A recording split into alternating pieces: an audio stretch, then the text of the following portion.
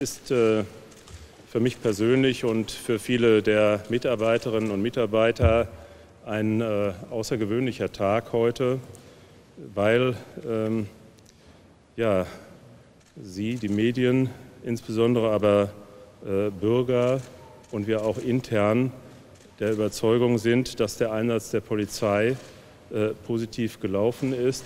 Aber was so besonders ist, das ist die öffentliche Diskussion die entbrannt ist, die entbrannt ist äh, und damit Köln auch äh, wieder erneut in den Fokus bringen. Äh, der Pressetermin ist jetzt dem Umstand geschuldet, dass seit dem frühen Morgen die Telefone bei meiner Pressestelle sowie der Stelle, die Bürgereingaben bearbeitet, nicht mehr stillstehen. Wir haben seit 14 Uhr jetzt wieder das Bürgertelefon geschaltet, weil wir die vielen Telefonate nicht mehr bewältigt äh, bekommen. Wir haben mehrere hundert Mails bekommen. Äh, bis jetzt gerade eben wurde mir gesagt, über 800 Mails äh, aus ganz Deutschland, dem benachbarten Ausland und auch aus Übersee. Eines haben fast alle diese Anrufe und die bislang ausgewerteten Mails gemeinsam, ein großer Zuspruch für den Einsatz der Polizei. Und dafür bedanke ich mich auch ganz herzlich. Viele Menschen äußern nach der Kritik an der Kontrolle von annähernd 1000 jungen Nordafrikanern Empörung über die Kritik und bedanken sich ausdrücklich für das Auftreten der Polizei Köln. Ich äh, möchte gleichwohl noch mal den Anlass auch nehmen, um über Kritikpunkte zu sprechen, weil ich glaube, diese haben für Unruhe gesorgt und äh, möchte insofern anfangen mit dem Begriff Nafri. Äh, dieser Begriff ist nicht für die Verwendung in der Öffentlichkeitsarbeit bestimmt. Ich bedauere nochmals hier auch an dieser Stelle, dass wir diesen Begriff in einem Tweet genutzt haben. Ich will Ihnen aber auch erklären, wo der Begriff denn eigentlich herkommt. Äh, der Begriff wird seit 2013 polizeiintern als Synonym für junge Männer aus Nordafrika genutzt, die seit Jahren durch besondere Gewaltbereitschaft und oder durch die Begehung von Straftaten auffallen.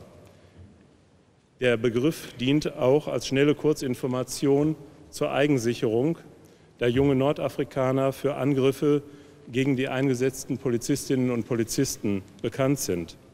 Ziel des Einsatzes an Silvester war es, sicheres, friedliches und fröhliches Feiern hier in Köln zu ermöglichen.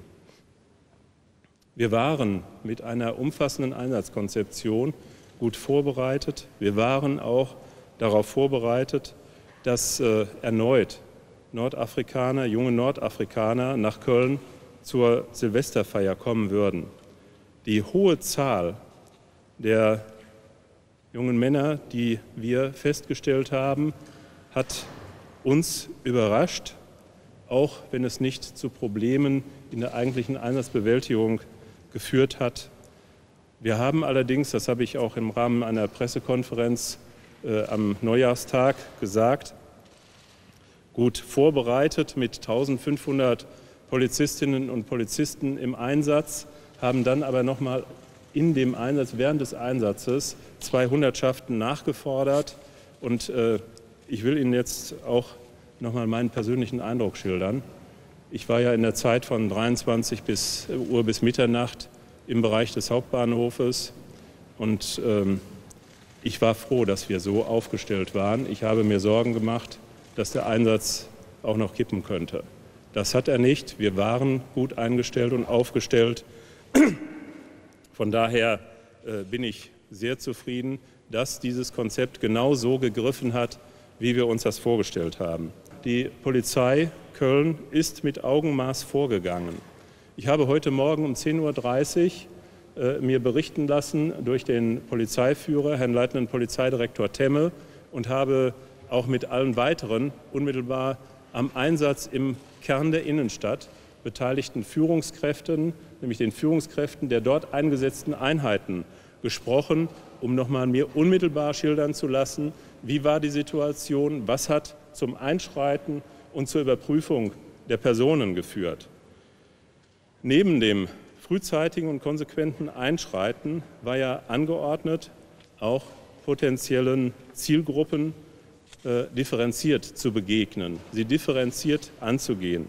Es ging nicht um das Aussehen, sondern um das Verhalten von jungen Männern, nämlich, wie gerade eben schon ausgeführt, Rocker, rechte Hooligans.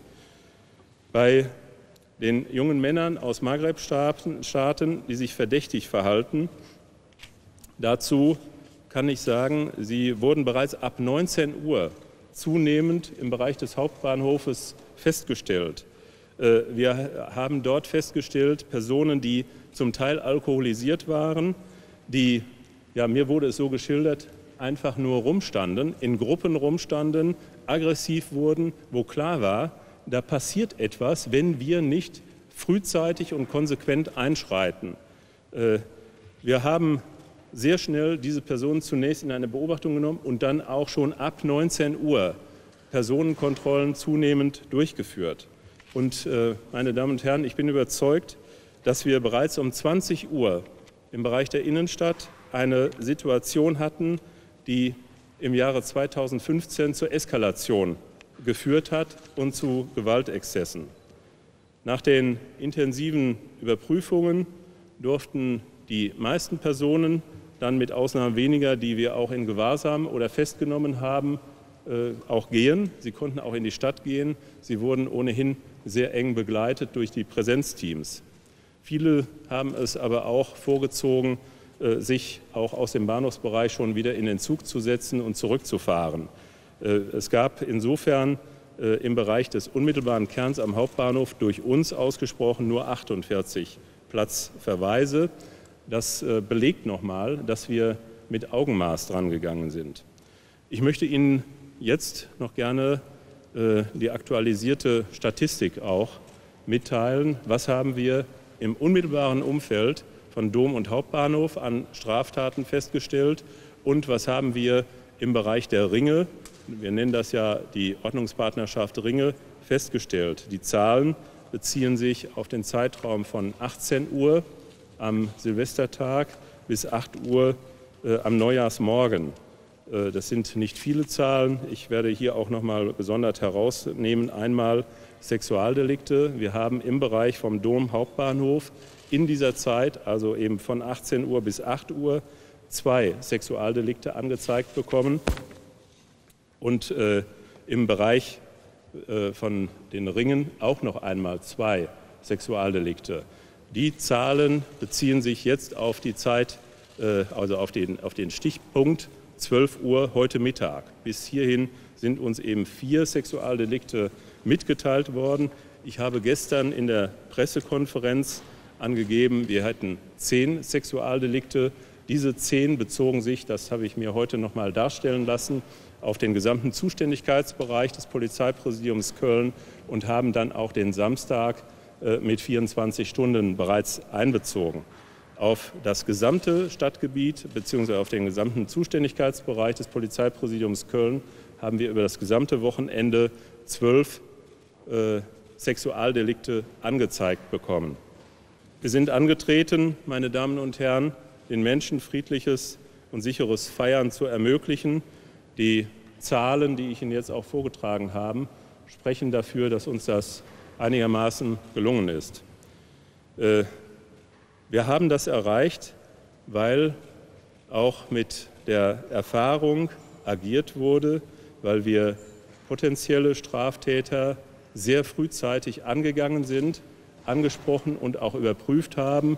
Und insofern wurde das, was ich in den teilweise auch Wochen zuvor gesagt habe, ich möchte, dass wir sehr niedrigschwellig einschreiten, beim Erkennen von Gefahren, beim Erkennen von Straftaten sofort einschreiten, dass dieses Konzept auch so umgesetzt worden ist.